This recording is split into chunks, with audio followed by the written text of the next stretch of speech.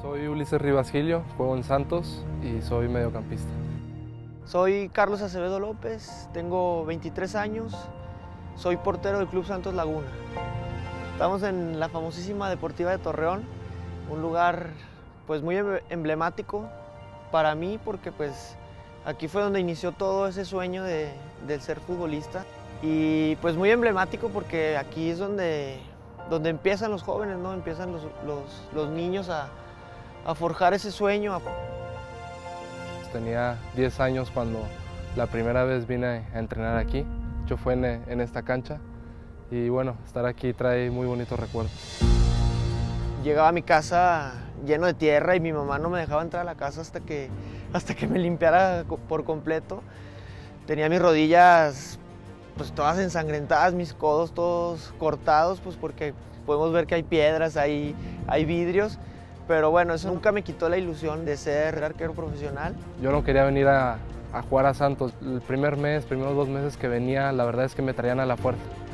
Yo estaba entrenando y volteaba a las macetas, a los árboles, porque ahí era donde mi papá se sentaba en la sombrita a ver el entrenamiento, porque si yo volteaba y no lo veía, yo me iba del entrenamiento, yo, yo no quería estar acá. Que él siempre fue muy, muy fresa.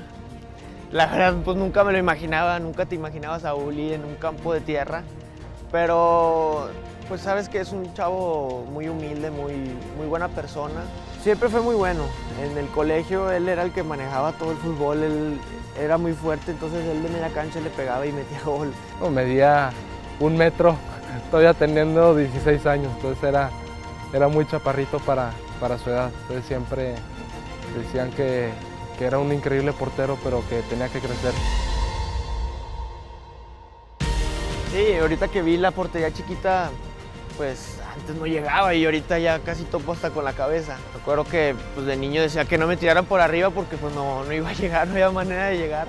Y pues es una ilusión el, ver que aquí crecí, que, pues, que aquí me forjé, tanto como niño como jugador.